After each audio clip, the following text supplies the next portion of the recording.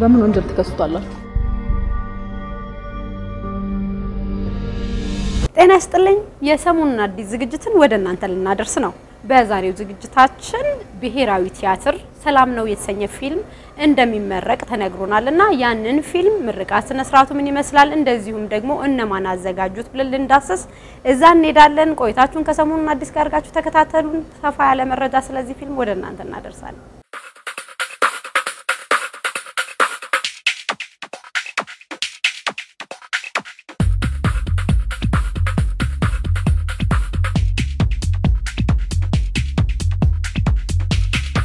ሰኞ ግንቦት 15 ዕለት ፊልሙ ላይ የተሳተፉትን ባለሙያዎች፣ የባለሙያ ቤተሰቦች፣ ጥሪ የተደረገላቸው እንግዶችን ሰብስቦ በብሔራዊ ቲያትር በይፋ የተመረቀው ሰላም ነው የተሰኘው ፊልም የቅድስት ይልማ ድርሰትና ዝግጅት ነው። የፊልሙ ዋና ፕሮዲውሰር ደግሞ ጸጋንሽ ኃይሉ ትባላለች።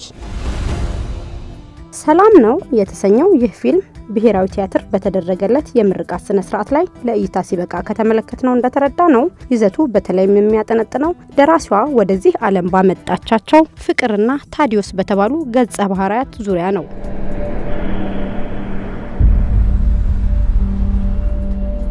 ሰላም ነው የተሰኘው ይኸው ፊልም ላይ የተዋወቅናት የፍቅር ባህሪ ከዚህ በፊት በማህበረሰቡም ሆነ በጥበብ ስራዎች ላይ ብዙ ያለመድናት አይነት ሴት ናት። ሞላጫ ሌባ ወይም ኪስ አውላቂ የምትባል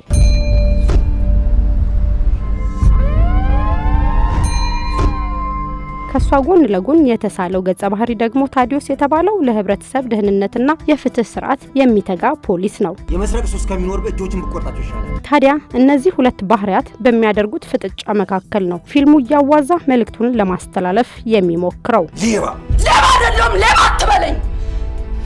ሰላም ነው የተሰኘው ይህ ፊልም ብሔራዊ ቲያትር ሲመረቅ ፊልሙን አዘጋጅቶ ለህዝብ እይታ ለማቅረብ የተባበሩ አካላትና ፊልሙ ላይ በሙያ የተሳተፉ ሰዎች እውቅናና ምስጋና ቀርቦላቸዋል። ከሰላም ነው ፊልም የምርቃት ስነ ስርዓት ተመልሰናል። አሁን ደግሞ በሚኖሩን ጥቂት ደቂቃዎች ከባለሙያዎቹ ጋር ስለ ፊልሙ አሰራር ዝግጅት ምን ይመስል እንደነበረ እንወያያለን። አብራችሁን ቆዩ።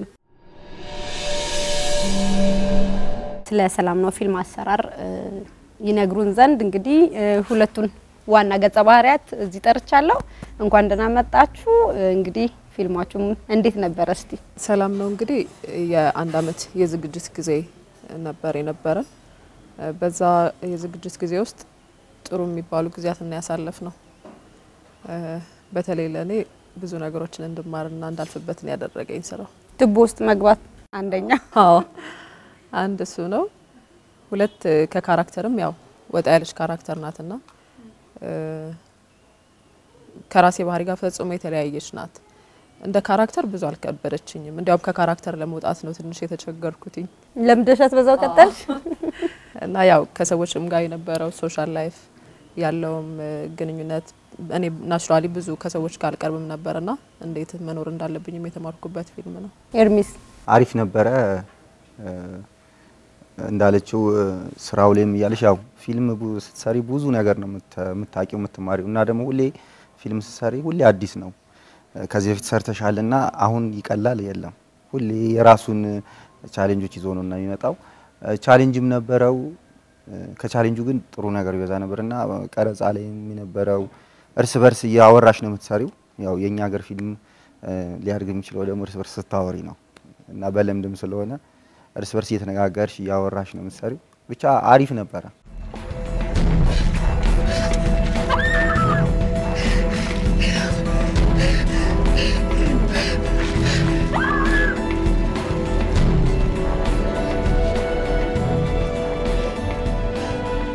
ሳይ በጣም የደነገጥኩት የዛች ቱቦ ውስጥ የምትገቢያት ቦታ ናትና እንዴት ነው እስቲ እሱ ጊዜ የነበረውን ነገር ንገሩኝ። ተጠጋችኋት ከዛ በኋላ? አዎ ኤርሚያስ ሳይሆን ታዲዮስ ተጠግቷት ነበር። ሲወድ ያው የመውደድ መነሻው ስለነበረች ታዲዮስ አስደንግጠዋለች። በዛች ድንጋጤ ውስጥ ነው ያው ውበቷንም አይቶ እንትን ሊል የቻለው እና ለእኔ በጣም ነው ወዳት እኔ ስላልበሰበስኩ ነው መሰለኝ። ሩጫውስ እንዴት ነበረ? በጣም ሩጫ ነበረበት። ሩጫው ይከብደኝ ነበር። እንዲያውም ጉልበቴን ሁሉ የሚያመኝ ጊዜ ነበረ። ትንሽ ያው ካለ exercise ም ስለሆነ የገባንበት ትንሽ ይከብድ ነበር። በማግስቱ ያተሰባብረሽ ነው የምትሄጂው ድጋሚ ሩጫ ስትለማመዱ ነው አንድ አመት የፈጀባችሁ የሚመስለኝ። አይ እኔ እንኳን ትንሽ ሮጥ ነበረ። ሌላው ይህን ፊልም እንደ executive producer ነሽ አንቺ እና አንተም ኤርሚ ለመተወን የፈለጋችሁበት ምኑን የሳባችሁ በቅድሚያ? actually ይሄንን እ፣ ፊልሙን እኔ በ story ነው ማቀው የነበረው ከኪዲ ጋር ያው እናወራ ነበር እና እኔም ሌላም script ነበረኝ ከዚህ በፊት ቅድስት ይልማ ጋር ከዳይሬክተሯ ጋር ከዳይሬክተሯ ጋር ና story ስትነግረኝ በጣም መስራት ፈለግኩኝ። አንደኛ character ኧ ወጣ ያለች ናት። ከዚህ በፊት አፍቃሪ ሆነች ነው የምትሰሪው። ከዚህ በፊት የሰራኋቸው ስራዎች እንደዛ ናቸው ና ለየት ማለቷን ወደድኳትኝ። እንደ character ግን ፈርተውኝ ነበረ። ካለኝ personality ጋር አታመጩም ብለው ይፈሩኝ ነበረ ና አንድ ሁለት scene ኝ ና ሰው እንቀይራለን ተባብለን ነበረ ስንገባ የገባ ነው። ከዛ በኋላ ያው እኔም ጥሩ ሰርቻታለሁ። እንዲያውም ኤርሚን ነበረ የፈራሁትኝ እኔ ኤርሚ አንተስ ምንድን ነው የሳበ? በመልእክት ነው በምንድን ነው? የሰራሁባቸው ፊልሞች አሉ፣ የራሴ ፊልሞች። ከነሱ በአንድ በ character ኡ ይወጣል። የፖሊስ character ነው ከሰራዋቸው ፊልሞች ስለሚለይ እስቲ የፖሊሱን character ሊያው ያው ዞሮ ዞሮ የፖሊስ character ሆኖ ወደ ፍቅሩ ይሄዳል። ግን የፖሊሱ የ character ኡ የታዲዮስ አላማ ምንድን ነው ብዬ ሳስብ የሆነ ወንድነት የሚሰማሽ ነገር አለ። የሚያደርጋቸው ነገሮች፣ የሚያስባቸው ነገሮች አንዳንድ ጊዜ ስራሽን በአግባቡ መስራትና የምትሰሪው ስራ ደግሞ ለሌሎች ሲጠቅሙ ማየት የተለያየ ነው። ስብህናው ብቻ ደስ ይላል እና ብዙ ፖሊሶች እንደዛ ቢሆኑ ደስ ይለኛል። ምክትል ኢንስፔክተር ታዲዮስ እባላለሁ። ለአንዳንድ ጥያቄዎች መልስ ለማግኘት ነው የመጣሁት።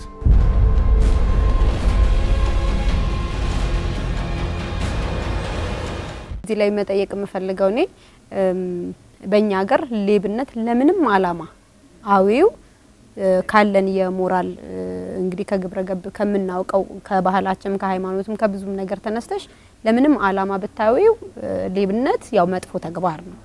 እዚህ ፊልም ላይ ደግሞ ፍቅር ሌብነትን ለጥሩ አላማ ካዋልከው ሌብነት አስፈላጊ ነው አይነት የሚል አስተሳሰብ ያላት ይመስለኛል። እና እስቲ ላይ ደራሲዋ ስለሌለች እስቲ አንቺም እንደ ፕሮዲሰርም እንደ ዋና ገጸ ባህሪ ይህንን እንዴት ነው የምታዩ? እንዳልሹ በህጉ ምንም ስረቂ ምንም ሌብነት ሌብነት ነው። የሚቀይረው ነገር የለም። ፊልሙ ላይም እንዳየሹ የቀየረው ነገር የለም። እሷ አስተሳሰቧ ምንድን ነው? ሌብነት ጥበብ ነው ነው ለእሷ ግን የምትሰርቅበት መንገድ ምንድን ነው ነው ቤተሰቦቿን ለመርዳት ነው። ወንድሟ ታማሚ ነው። ወንድሟን ለመርዳት ነው። አባቷ ይሄ ሁሉ ሲሆን ከጎናቸው ስለሌለ እሱን ሰርቃ ማምጣት ለእሷ እንትን ነው የሚመስላት፣ ጥበብ ነው የሚመስላት። ከሌሎችም ላይ even ሰርቃ ለተጎዱ ሰዎች ትሰጣለች። ካየሽ ለእሷ ይሄ ጥበብ ነው ብላ ነው የምታስበው። ግን ዞሮ ዞሮ ሌብነት ሌብነት ነው፣ ያው ነው። የምናስተምርበትና የምናሳየው እይታ ነው አሁን የሚለያየው። ይህንን ነገር አድርጉት እያለን አይደለም፣ ግን ጉዳቷን ነው የምናሳየው። የእሷን ጉዳት ነው ለ audience ኡ የምናሳየው። ወደ በሬደስ ግን ሌብነት ሌብነት ነው። ሌብነት ሌብነት ነው። ደግሞ እግረ መንገድም ሌብነት ከሰው ኪስ መስረቅ ብቻ ሳይሆን የሚፈጸሙ ብዙ የሌብነት አይነቶች አሉ ነው። በተለይ ኤርሚያ አይነቶቹም ቢኖሩ ግን ያው የምትቀጭበት ወይ አንድ ነው፣ ህግ ነው። ህግ ነው። ያው ምንድን ነው አንዳንድ ጊዜ ዋሽቶ ያስታርቃል ይባል የለም ዋሽተሽም ታስታርቂያለሽ፣ ግን ውሸት ነው።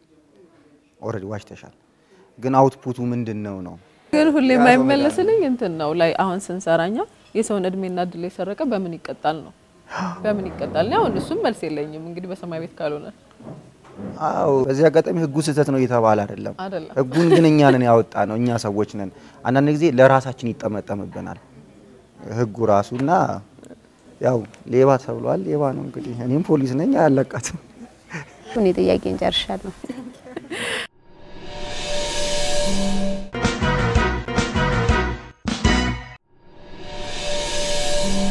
ወደ ረፍት ከመሄዳችን በፊት ስንወያይ የነበረው ስለ ሰላም ነው ፊልም ምርቃት ስነ ስርዓትና እንደዚሁም ደግሞ ዋና ገጸ ባህሪዎቹ የወሰዱት ተዋንያን ስለ ፊልሙ ሲነግሩን ነበረ።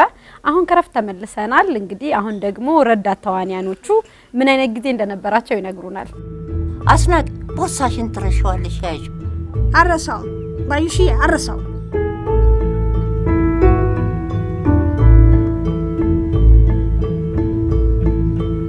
ሰላም ነው የሚለው ፊልም ላይ ሲሰራ የነበራችሁ ጊዜ ምን ይመስላል? እስቲ የእናንተ ገጸ ባህሪያት ምን አይነት ናቸው? እንዴት ተዋህዳችሁ? እኔ አክስት ሆኜ ነው የምሰራው እና እሷ የምትኖረው ጅማ ነው። ደውላ አክስቴ ልምጣዋይ ትላለች። ያችን እጅ አመልሽን ትተሽ ነይ እላታለሁ። ትመጣለች እኔ ጋ ቀኑን በሙሉ ውጭ ነው የምትውለው። ወደ ቤት አትገባም። ማታ ለመኝታዋ ነው የምትገባው። በጣም ያሳቀኝ የእርሶ ገጸ ባህሪ አንድ ቦታ ላይ ተደበቁ ሲባሉ ጊዜ እንደዚች ብሎ የሚደበቀው በጣም ስስቅ ነበር። እሱ እንዳያይ ነው ደበቅ ማለቴ ነው። እንዲህ ብዬ ፊቴን እንዳያየው መሸፈኔ ነው። ጣቢያ ስር የኔ ቢጤ መስዬ እንዲህ ያልኩበት እሱ እንዳያይ ብዬ በሰው ፍቅር እንዳልገባ ነው።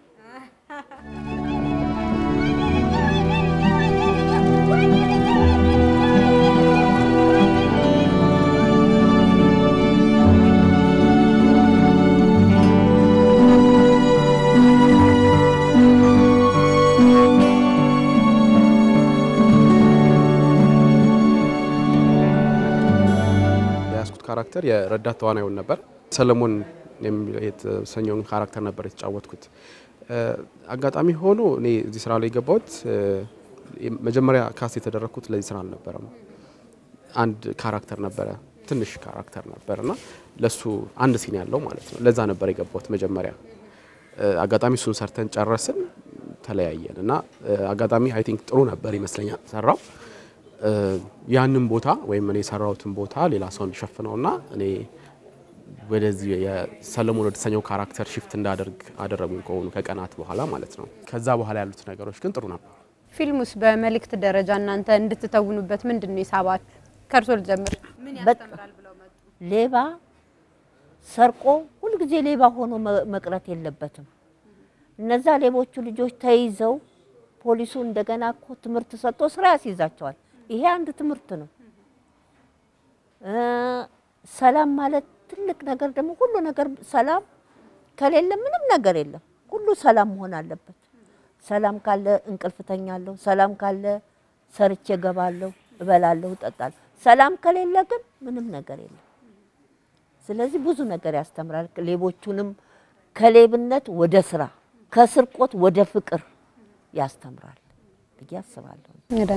ትልቅ ነገር ማስተማር ይችላል ብዬ አስባለሁ። ምክንያቱም ቤተሰብ ከቤተሰብ ጋር መኖርና የፋሚሊ መበተን ለልጆች ልጆች ላይ የሚያመጣው ተጽዕኖ ምን ማለት እንደሆነ ማሳያ የሚሆን ስራ ነው ብዬ አምናለሁ። አሁን እሱ ባለው ላይ የምጨምርልሽ ምንድን ነው አባት ወልዶ የትም መጣል እንደሌለበት ልጆቹን መሰብሰብ ልጆቹን እኮ ስለጣላቸውና የትም ቦታ ስለወደቁ ያኛው በሽተኛ፣ አንደኛው እንጀራ ጋጋሪ፣ እቺ ሌባ ሆነች። ግን አንድ ላይ ቢሰበስባቸው ይሄ ሁሉ ነገር አይፈጠርም።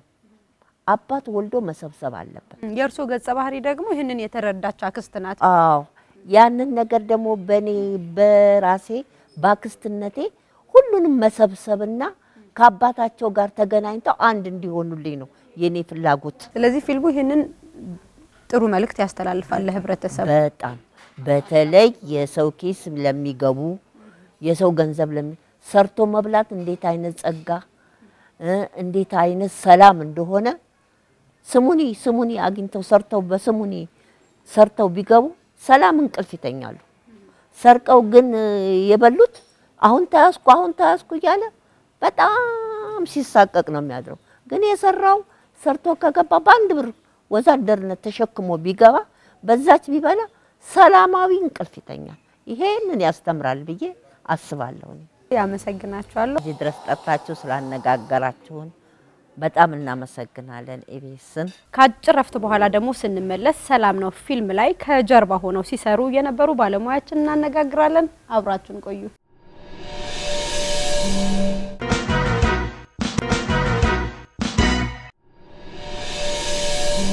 ጄሪና አናንያ የተሰማራችሁበት የስራ ዘርፍ ማለት ነው ፊልም ላይ ፊት ለፊት የሚወጣ ስላልሆነ ከጀርባ ስለሆነ ተመልካች አናንያ ነው ሳውንዱን የሰራው ጄሪ ናት ኮስቲዩም ሜካፕ የሰራቸው ብለው አያውቅምና እስቲ ምን ምን እንደሰራችሁ በደንብ ዘርዘር አድርጋችሁ ግለጹ።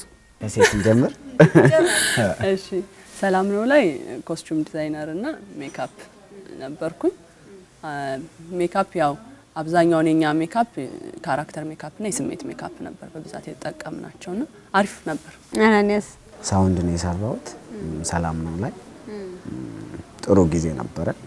ጥሩ ቆይታ ጊዜ ነበረ። actor ኦቹም ያው ከ sound ባሻገር ቆንጆ እያገዙን ነበር። በድምጽ በኩል ምናምን ቆንጆ ነበር። ግን ጸጋ ድምጿ አይሰማም። እኔም ለ interview አስቸግሮኝ ነበር። እንዴት ነው የጸጋ sound የተሰራው? እንግዲህ ያው ስሜቱ ስትገባ በደንብ ጮክ ትል ነበር። አይ ለእኔ እንኳን አላስቸገረችኝም፣ አላስቸገረኝም። actor ኦቹ ጥሩ ጊዜ ነበረን። ሌላ ይህ ፊልም በሜካፕ እና ያው በእንደዚህ ደጋፊ በሆኑ ነገሮች እንዴት ነው የተሰራው? በተለየ ቴክኒክ ነው? ምን የተለየ ነገር አለው? ሌላ ፊልም ላይ እንግዲህ ስሰሩ አውቃለሁ። የተለየ እዚህ ላይ የተጠቀማችሁት ነገር ካለ? የተለየው ነገር ያው እዚኛው ላይ ጭቃ ተወቅቶ የተደፋባት አንድ ካምፕ እንትን አለና በጣም ከባድ ነበረ። አይኗ ውስጥ ሙሉ ነበር የገባው እና ገብታ ስትወጣ ሙሉ አይኗ ውስጥ ጭቃው ገባና አፈሩ ድንጋዩን ማውጣት ራሱ በጣም ከባድ ነበርና በጣም ፈታኝ ጊዜ እሱ ነበረ። የጭቃው part በጣም ፈታኝ። ምን ጭቃውን ራሳችሁ ሰርታችሁ ነው? ራሳችን አብኩተን አጽድተን ቦይ ነበረ ቱቦ ውስጥ የከተትናት እና color ኡ ታይቶ ጭቃ ውስጥ ያለውን color አይተን ከዛ color ውስጥ ለእኛ የሚስማማውን color አቦካን። ከዛ አብኩተን የጸዳ ቱቦ ውስጥ ነው ያፈሰስንባት እና ከዛ በኋላ ከወጣች በኋላ እሷ ካራክተሩ ነው እና እያሰበች ያለችው በቃ ከምር በቃ አይኗ ሙሉ አይኗ ውስጥ አሸዋው ገባ ሙሉ በሙሉ ና እሱም ለማውጣት የነበረው ነገር ፈታኝ ነበር በጣም። እሺ፣ ከዛ ውጭ ስለ ፊልሙ መልእክት የምትሉት ነገር ካለ ይዘቱ፣ ተመልካች ይህንን ፊልም ቢያይ ምን ያገኛል ትላላችሁ? ፊልም ሁሉ አስተማሪ ነው ብዬ አስባለሁ እና አሁን እንግዲህ ኢትዮጵያ ውስጥ የሚሰራ ተገምግሞ ተለክቶ ስለሚወጣ አስተማሪ ነው ብዬ ገምታለሁ። ባህልና ቱሪዝም ያው ገምግሞ ይሄኛው ለህዝብ ነው እይታ ቢውል ብሎ ነው እንጂ ካልሆነ መጀመሪያም ስለሚጥለው ማለት ነው። ፊልሞች ሁሉ የኛ ሀገር ፊልሞች አስተማሪ ናቸው ብዬ አስባለሁ። ልክ እንደ ሌሎቹ ፊልሞች ሁሉ የኛም ፊልም ያነሳው ሀሳብ አለ፣ የፖሊስ ሀሳብ አለ፣ የኪስ አውላቂ ወይም የሌባ በሱ ላይ ጥሩ አስተማሪ ነገር ሰጥቷል ብዬ አስባለሁ። ሰላም ነው ፍቅር ያሸንፋል ነው ገብቶሻል። ያ ሁሉ ነገር የሆነው ፍቅር አሸንፎታል። ስለዚህ ምንም ጥያቄ የለውም። ፍቅርን አስተላልፈንበታል ብዬ አስባለሁ። ፍቅር እንደሚያሸንፍ አስተላልፈናል ከሁሉም ነገር በላይ ሰላምና ያው ስንሰራ ያው እንደ ፊልም ኢንዱስትሪው እንደ መጀመሪያ ያው ገና የሚያድግ ኢንዱስትሪ ነው። የተወሰኑ ችግሮች አይተነባቸዋል።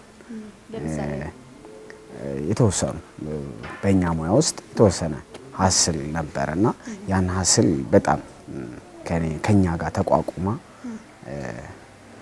የሰራቸዋን ጸጋን የፊልሙ ባለቤት executive እጅግ አድርጌ አመሰግናታለሁ። ማለት ነበሩ ያው hassle ኦች አይጠፉም ፊልም ስንሰራ hassle ኦች ግን አዎ ብዙ ጊዜ ሸክም የሚቀመጠው እሷ ላይ executive ነበረ ፕሮዲውሰር ላይ እና ነው አይደል? አዎ በጣም በቃ ጭንቀት ጭንቀትኛ ሲይዘን እሷ ያው እንዳልጨነቃት ሆና በጣም እያበረታታችን ስንሰራ ነበር። ጸጋን እጅግ አድርጌ አመሰግናታለሁ። ያው ፍሬዋን አይታለች። እንግዲህ እስቲ እግዚአብሔር ይርዳት ተመልካች ደግሞ እንግዲህ አይቶ ይፍረድ እላለሁ። ያው ደግሞ ከወደደው በዛ ደግሞ ታገኛለች ያው የበለጠ ምላሽ። እሷን አመሰግናለሁ። እሺ እኔም አመሰግናችኋለሁ። ከሰላም ነው ፊልም ምርቃትና ዝግጅት ዳሰሳ ተመልሰናል። አሁን ደግሞ ሰሞኑን አዲስ በቅርቡ ከተማችን ውስጥ የጽዳት ዘመቻን በተመለከተ በአዲስ አበባ ከተማ ውስጥ ያሉ በሙሉ የጽዳት ሰራተኞች ያደረጉትን የጽዳት ዘመቻ ላይ ተገኝቷል። ይህን በተመለከተ የምናደርሳችሁ መረጃ አለን። አብራችሁን ቆዩ።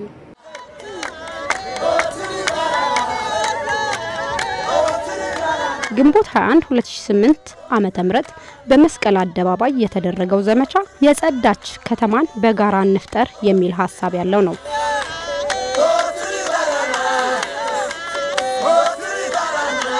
እንደተመለከትነውም ዘመቻው ከአስሩም የአዲስ አበባ ክፍለ ከተሞች የተውጣጡ ከአምስት ሺህ ቁጥር በላይ ያላቸው የመንግስት ቢሮ ሰራተኞችን ለማሳተፍ ያቀደ ነበር። በዋናነትም ከጠዋቱ 12 ከ30 ጀምሮ እስከ ስድስት ባሉት ሰዓታት ውስጥ መስቀል አደባባይ በመሰባሰብና ከዛው በመነሳት ወደ ሁሉም ክፍለ ከተሞች የተጓዙ የከተማዋን ዋና ዋና መንገዶች ማጽዳት እንዲሁም ለከተማ የሚሰጠውን ጽዳት ከመቼውም ጊዜ በላይ ትኩረት እንዲስብ ማድረግ ነበር።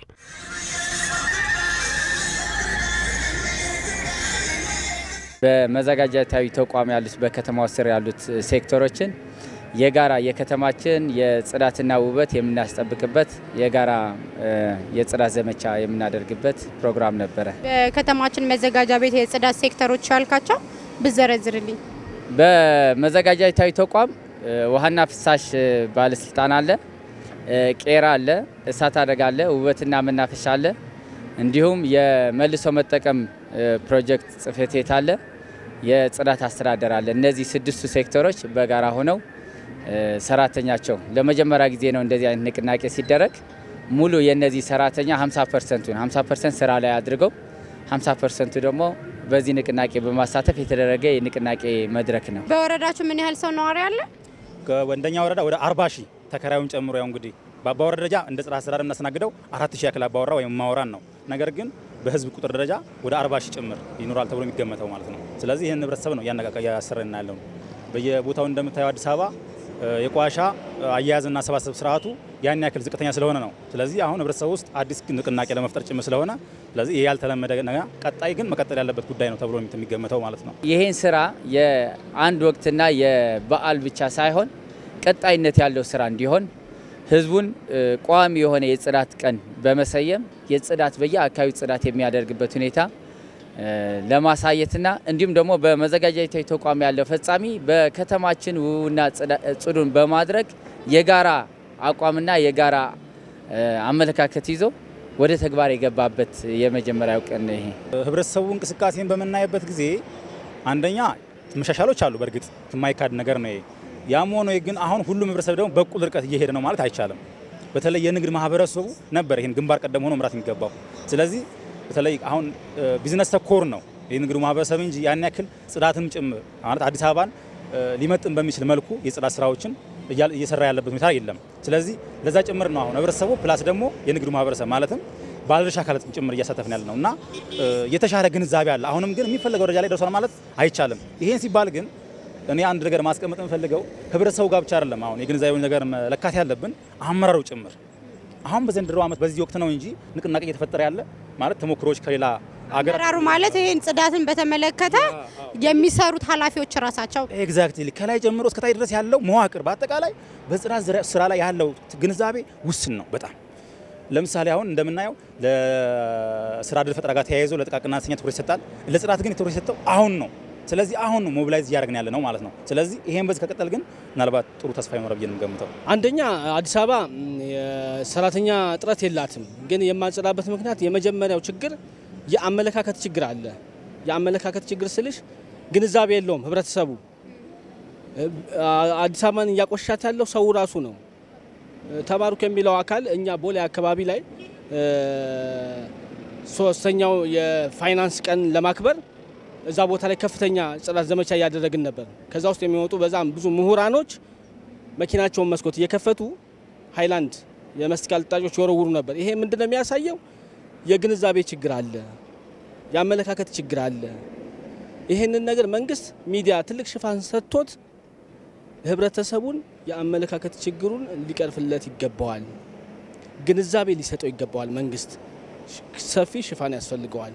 ጽዳት ስራ ነው ምለው። ዛሬ ስትከታተሉ የቆያችሁት የሰሞኑን አዲስ ዝግጅት ሰላም ነው ፊልም ላይ እንደዚሁም የአዲስ አበባ ጽዳት ዘመቻን በተመለከተ ሲዳስስ የነበረበትን ፕሮግራም ነው። በእርግጥ አዲስ አበባ ከተማ እንግዲህ ብዙ የጽዳት ችግሮች አሉባት። ይህም የጽዳት ችግር በዘመቻ ብቻ የሚፈታ አይደለም። ግን ያው ዘመቻው ዋና ዓላማው ህብረተሰቡን የመቀስቀስና እንደዚሁም ሰራተኛውን የማነቃቃነት አይነት በመሆኑ እዚሁ ተገኝተን እንግዲህ ምን እንደነበረ ወደ እናንተ አድርሰናል። ዛሬ ሰሞኑን አዲስ የነበረው ቆይታ ይህንን ይመስላል። ሳምንት በሌላ ርዕስና በሌላ ፕሮግራም እንገናኛለን። እስከዛው ደህና ሰንብቱ።